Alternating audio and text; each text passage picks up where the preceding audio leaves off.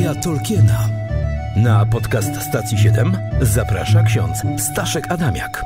Jak powiadają, Morgot nie spodziewał się ataku, który przyszedł od zachodu.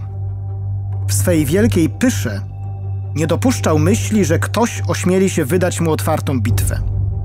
Temu bowiem, kto sam jest wyzuty z litości, wydaje się ona czymś dziwacznym i nie bierze w rachubę możliwości, że ktoś kieruje się w działaniu takim uczuciem. Jakimi uczuciami kierowali się bohaterowie Tolkiena z Silmarillionu? Skąd zło w świecie, który miał być doskonały? Czy śmierć to przekleństwo, czy dar dla ludzi? Czy warto pisać wiersze i tworzyć muzykę? Zapraszam na drugą serię Teologii Tolkiena. W każdą środę na stacji 7.